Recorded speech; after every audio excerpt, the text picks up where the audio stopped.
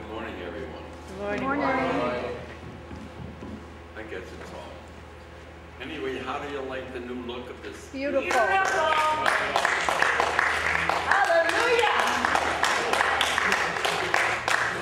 I Looks almost as good as you do. Huh? It looks almost as good as you do. Gee, thank you. You're color I'll tell you what, today my wife has a beautiful baptism, so I thought, why not? So I did. Is your new shirt? But anyway, the outside that was done is now having everything in here that is so great and so beautiful. It's sealed now. It's everything is here that doesn't escape, but needs to escape does. The rest stays here. Yay, thank you. So now we're in for a great treat today.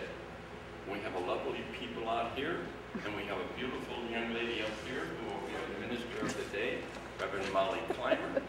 And of course, we just had the beautiful music of the gong, was done by Reverend Jack Lehman.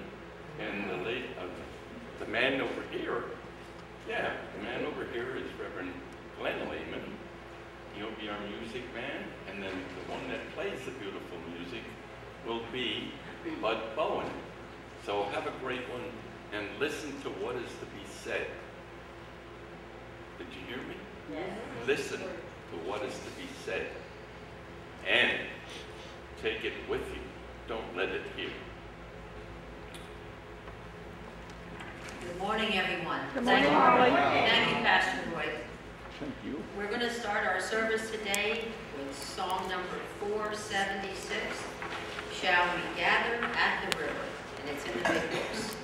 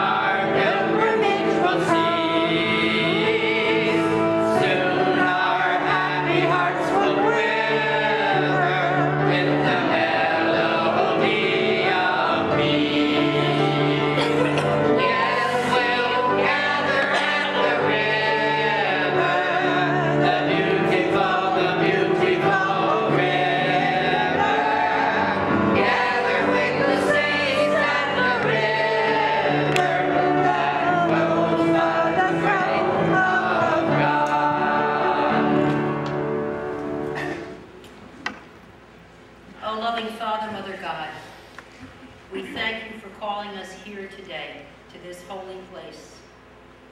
Lord, we thank you for the gift of Labor Day for all of us that labor, but we labor for you in your name. Heavenly Father, we thank you for the gift of this beautiful day, for all the blessings that you give to us, and all the blessings that you have for us. May we be open to them, and may we send your love through us and out to our world. Amen. Amen. Please join us in saying the Lord's Prayer.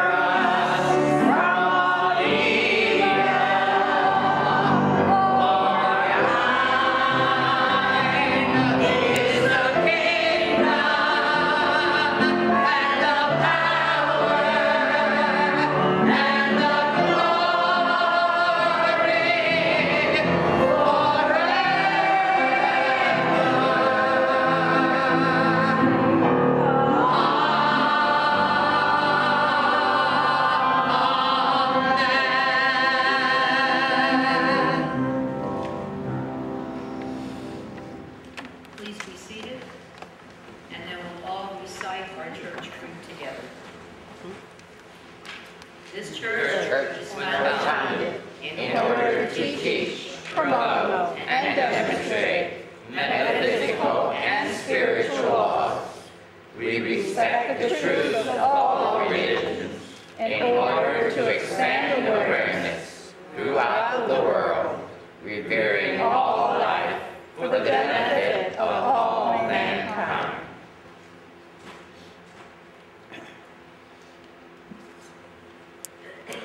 And the reading today is going to be taken from 1 Corinthians 13, verses 1 to 7 and 13, and I'm sure you all know this one.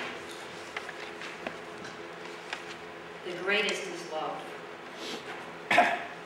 What if I could speak all languages of humans and of angels, and if I did not love others, I would be nothing more than a noisy gong or a clanging cymbal.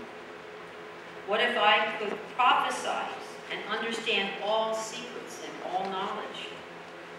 And if I had faith that could move mountains, I would be nothing unless I loved others.